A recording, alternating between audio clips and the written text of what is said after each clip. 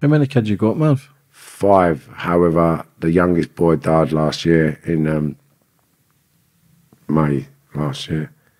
Young Kane. That was a.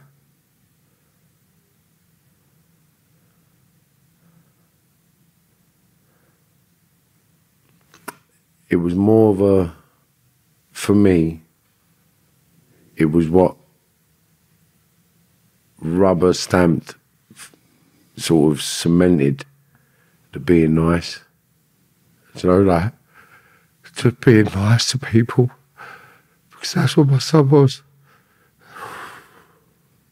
He was a lovely kid that was just nice to everyone. And he just wanted everybody to get on. And I think I just took a little bit of that away. I've just been a nicer person. And it's just, I've just been nicer. I've tried to, I've tried to be more of, I've tried to be more of the man that he was, if that makes sense. I mean, I've tried to be more of the man that he was. And it's been nice because the sun has been on my skin every day since his passing.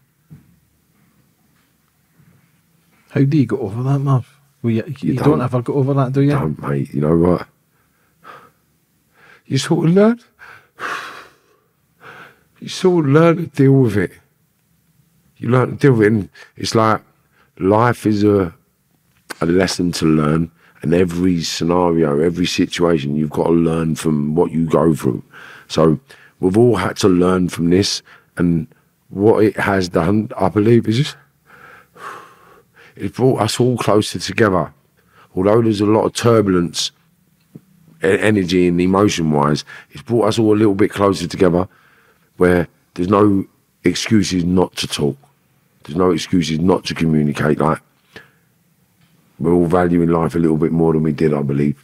And everybody's just become a little bit more friendly. Like, yeah, there's no, there's not as much hostility within the family household now when having two baby mums and two sets of kids could have caused a lot of problems and issues and dramas, but it isn't. It hasn't, and everybody's getting on really well. So,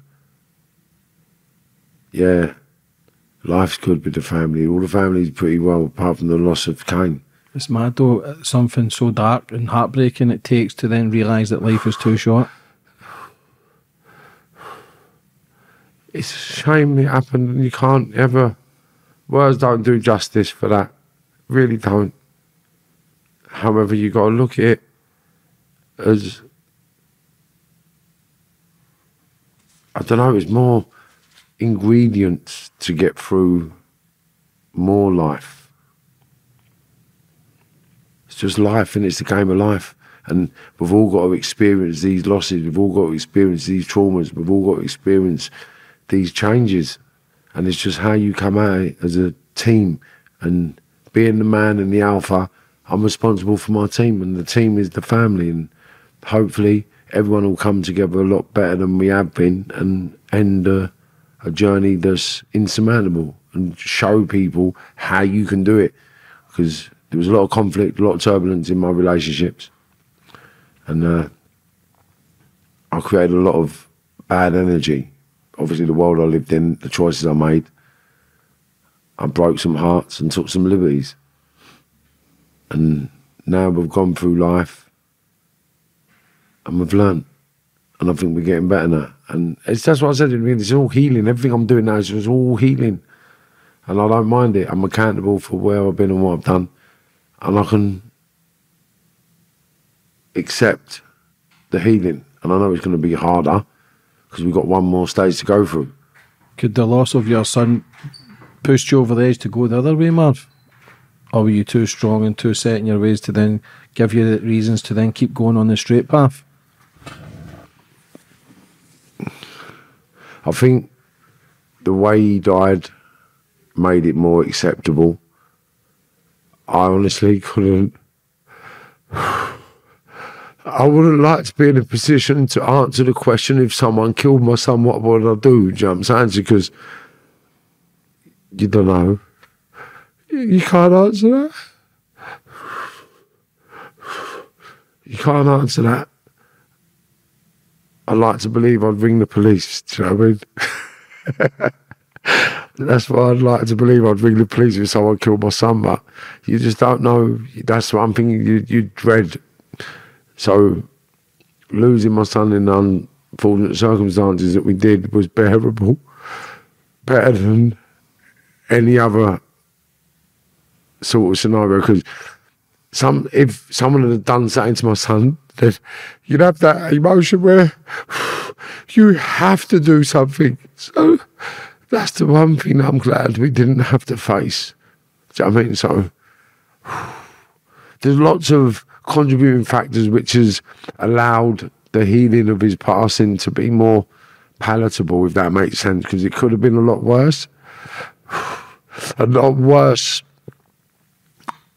for him, worse for everybody. Do you know what I mean? Because who knows? Who knows what you do, how you react, and how you behave when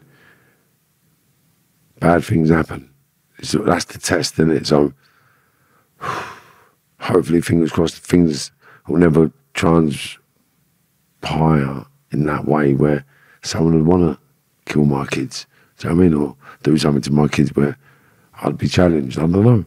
I'd rather not think about it. I believe all my kids are going to live a very healthy life. I think they're all going to live beyond the age of 80. Do you know what I mean? I don't believe they're going to have much more trauma in their lives to deal with. I think I've done through that. As long as they all learn from what I've been through, then they will do what was necessary from the universe, I'd imagine. Why do you think you've been through so much trauma from the day you're born to even now? It's always because I can't deal with it. Simple, isn't it? Like I get emotional now because it is hurt. Like what I've been through has hurt. That's why it was me.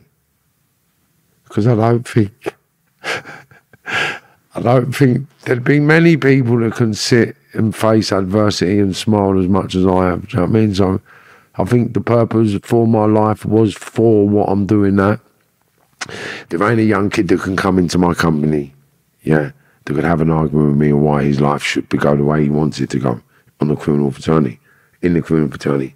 The only one thing that I cannot sort of empathize with or even understand is like being sexually abused.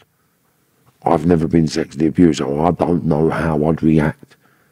Hence the reason why sometimes on social media people say things, people do things, but people have been really traumatized in life and it's about healing. People have to heal, and I don't know if I could ever heal if someone raped me. So I give people a lot of space and time to heal for themselves. I let everybody heal. I'm just glad I was never raped because the trauma I've dealt with has been mad enough, crazy enough, and tangible enough to deal with. Whereas having it taken out of your hands and put into the penis of somebody else, rammed into you time and time again, I don't know how I'd feel. So, hurt people, hurt people, and all they'll ever try to do is hurt people. So, I'm not here to hurt no one. All I want to do is add value to anybody that wants to move forward in the most constructive, positive, harmonious way possible.